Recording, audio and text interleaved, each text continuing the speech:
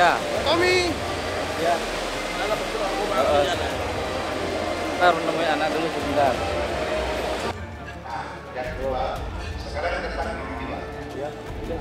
Waktu saya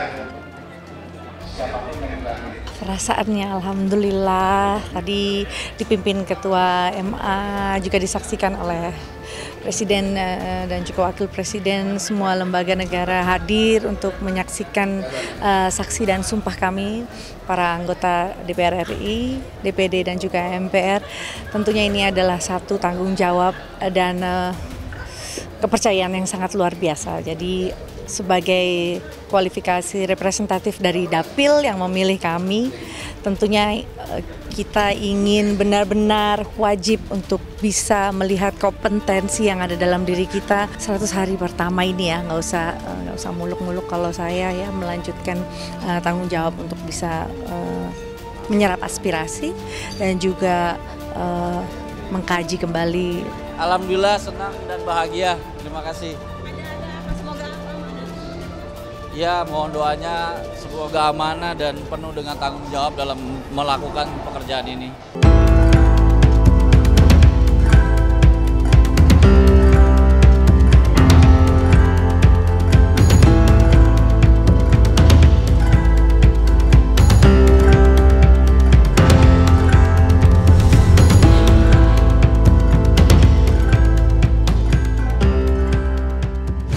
250 juta penduduk di Indonesia punya ketergantungan kepada 6, 560 sekian yang ada di anggota DPR. Selalu support, 100 persen. ya supportnya support ya dari, dari dari dari awal kita kampanye apa sampai menghantar itu udah termasuk bagian dari support.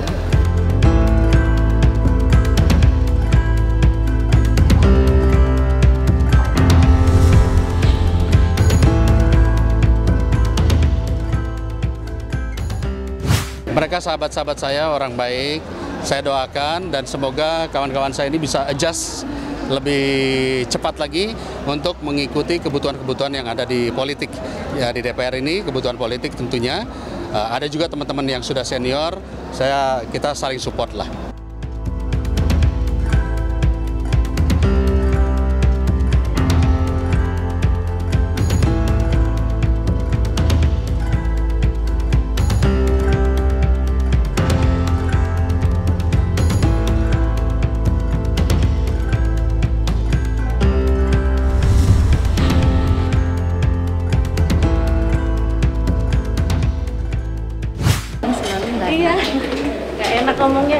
Juga kan ngapain ngambil gambar Enggak, nanti aja makanya belum siap untuk seperti itu. Jadi kamu nanya pertanyaan. Enggak, enggak, udah seperti biasa saya udah hafal. Jadi memang belum siap minta minta bantuan teman-teman deh. Gitu, kita sama-sama ngerti lah.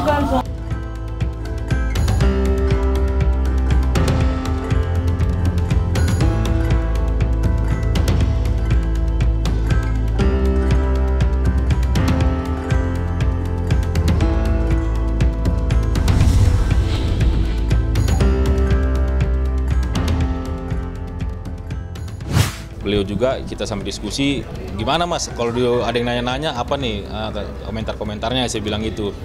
Ya yang penting kalau gua pribadi bahasa dia gitu kan kalau dia kan bisa gua lu gua gitu yang penting amanah lah. Jadi setiap uh, aspirasi di dapilnya dia masyarakat yang diwakili dia itu ya dipenuhi.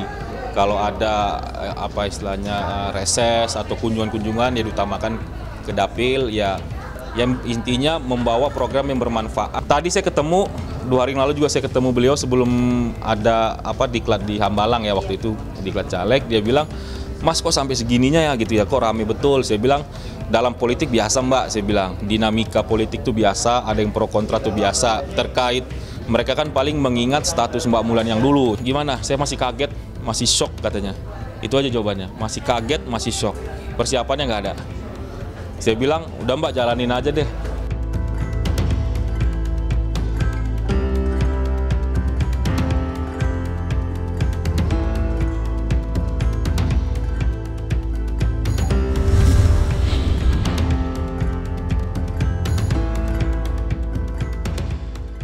Mbak Mulan uh, bisa bisa meraih kepercayaan masyarakat yang ada di dapilnya khususnya meskipun uh, diawali dengan uh, masalah konflik seperti ini tapi mudah-mudahan ke depannya bisa terjadi apa ya islah atau uh, rekonsiliasi.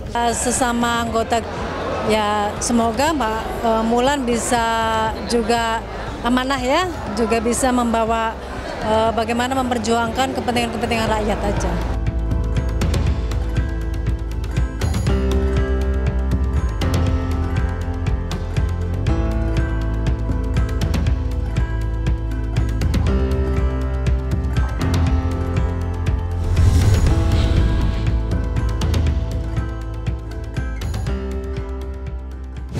lengannya aja selebar itu, bawahnya selebar itu. Pakailah sesuatu yang dress code-nya pada saat ini adalah official. Acara pagi hari kenegaraan. Anda sedang disumpah, Anda bukan lagi disumpahin. Ya. Jadi tolong cara berpakaiannya tidak sampai disumpahin nama rakyat kita sendiri. Ataukah barangkali warna sudah oke untuk pagi hari oke, tetapi sizing, ukuran, bentuk model itu juga mempengaruhi. Jadi pada saat ini Anda harus meredam sedikit keartisan Anda untuk menjadi seorang yang representasi dari wakil rakyat sesuatu yang nggak nyambung antara bagian depan, lengan dan segala macam. Meskipun itu ramuan dari desainer barangkali saya tidak tahu, tetapi secara total look itu menggambarkan sesuatu yang agak sedikit jumping. Apalagi untuk acara kenegaraan yang sifatnya formal. Anda sedang disumpah, bukan untuk disumpahi.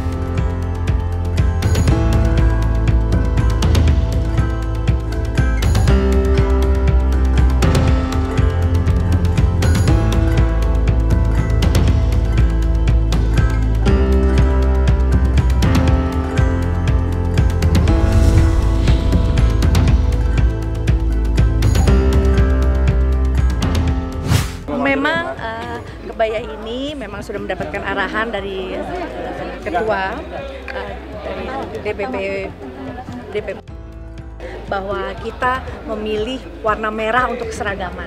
Tapi bisa dibilang bahwa merah itu ada aura, merah tidak saja mewakili dari uh, partai aura, keberanian dan juga semangat. Kainnya ini adalah kain parang. Parang itu artinya merendahkan diri kita untuk alam semesta ini. Jadi ini uh, adalah batik paling tua yang yang ada di Indonesia itu uh, batik parang. sunggarnya konde Jawanya mantep banget ya ngadi saliro ngadi busono bagaimana mengenakan pakaian dengan selera tinggi mengenakan dengan bercita rasa tinggi. Ini yang kita sebut sebagai ngadi saliro ngadi busono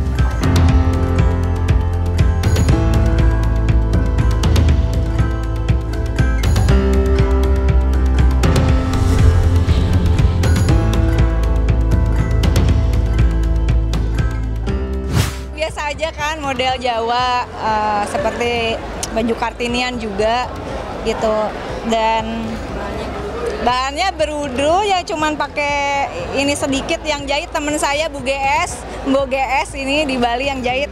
Kainnya juga ini kain tenun Bali. Aplikasinya juga dari tenun Bali ya. Kalau pakaian tradisional kita eh, yang kebaya ya rasanya kalau nggak pakai sanggul nggak belum lengkap gitu ya. Rike selalu menggunakan sesuatu yang klasik ya, saya suka ya. Tapi lain kali warna yang yang lebih bagus, warna yang lebih bagus banyak loh, tidak hanya merah saja ya. Secara keseluruhan saya suka kebayaannya bergaya klasik dengan tampilan yang klasik hanya dengan bros kecil saja, rambutnya so simple bahwa ini adalah tampilan official resmi.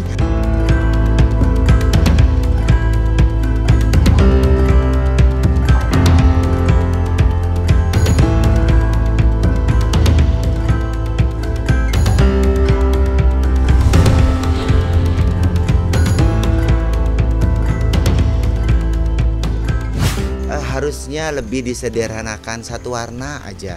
Barangkali pun sudah cukup. Jadi ataupun tidak terlalu jadi mismatching. Nah bahayanya di sini karena sebab biru jadinya malah aneh. Tidak teh saya percaya kalau yang namanya eh, gaya penampilan make upnya dan segala macamnya sudah biasa. Dengan gayanya pun enak untuk dilihat itu sudah biasa tidak berlebihan. Cuma itu tadi tumben kok banyak banget warna yang dipunyai gitu